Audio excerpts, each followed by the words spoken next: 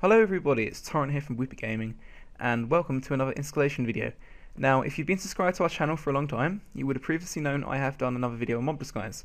Um, I've decided to come and revisit it, because my last video I went over briefly over everything, and I'm going to go in a bit more in depth on the creatures you can turn into, uh, more of the configuration file, and the permission nodes.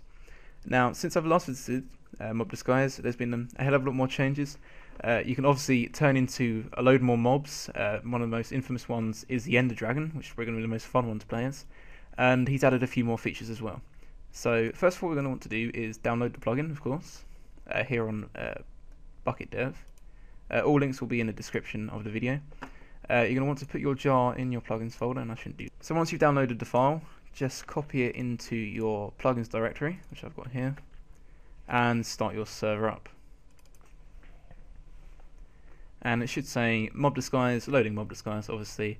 Uh, config one will not found, it will make one of the default values and obviously by the author. So we're going to go on to hop into the plugins folder and into our mob disguise folder and to the configuration. So within the configuration file we have the blacklist which is the entire list of all the different creatures you can turn into. Now if you have magma cube as true that means you'll be able to turn into one.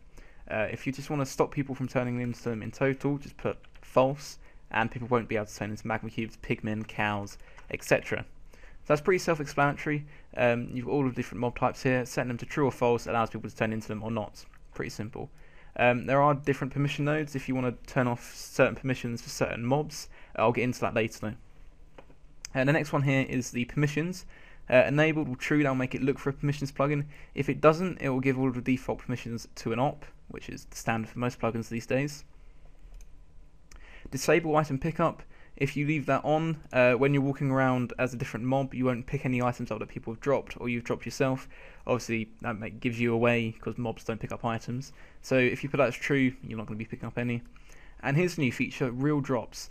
Now, when you kill a zombie, obviously it gives you rotten flesh. If you're going to be walking around as a zombie and you don't want anybody to, when when they kill you, you don't want your sword dropping, for example. If you turn real drops on, uh, when someone kills you as a zombie, you'll drop rotten flesh, or as a skeleton, you'll drop a bone, etc. I think that's a really cool feature that they've added. I think it's a good thing of this plugin.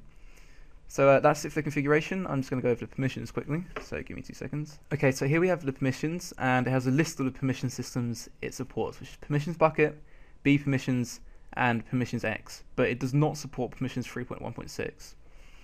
So the first node is mobdisguise.star, and that gives the player the ability to transform into every single mob and every single command, etc. Uh, we have then mobdisguise.mobtype, and you replace the mob type with the certain mob you want people to turn into. So for example, if I only wanted my players to turn into a chicken, I do mobdisguise.chicken, and that's the only mob they can turn into. We then have mobdisguise.player, which allows people to turn into other players, such as, I know, Samkio. So if I only wanted my players to turn into Samkio, I'd put mob mobdisguise.samkio. Very simple and very effective. So I'm just going to go into game and I will show you how this plugin works effectively. So I'll see you in a minute. Alright guys, we're now in game and I'm going to show you a few examples of how Mob Disguise works.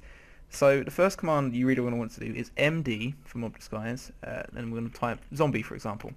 And it says you've been disguised as a zombie. So if I just do it over here, and there you go. Uh, the player over here has been disguised as a zombie. And I can move around as a zombie and like that. Uh, let's try again. Let's do MD Creeper. We are now a Creeper, as shows. Uh, let's do MD Skeleton. I'm now Skeleton. We can do MD Ender Dragon, which is probably the best one.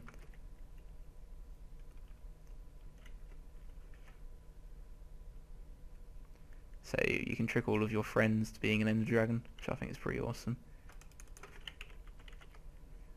So that's it really for the creature commands. Um, they're not. All you have to do is type obviously MD and then the creature name. So chicken, for example, which I can do here. MD chicken. Now I'm flapping about as a chicken. Uh, you can do MD pig, obviously.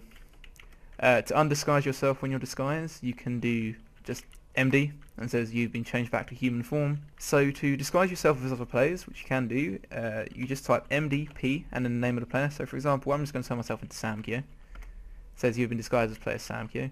So if I do it on this one, MDP Sam Samkio, you can now see I'm Sam Samkio and I'm running around with his skin.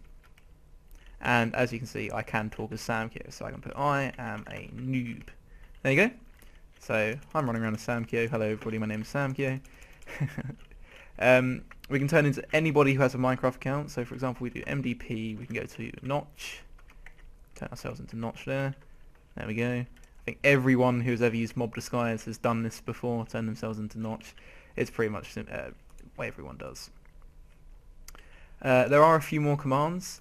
So the other one is MD stats, which brings up the current stats of what you are. So I'm currently disguised as player Notch. If I just do MD, obviously get turned back to normal.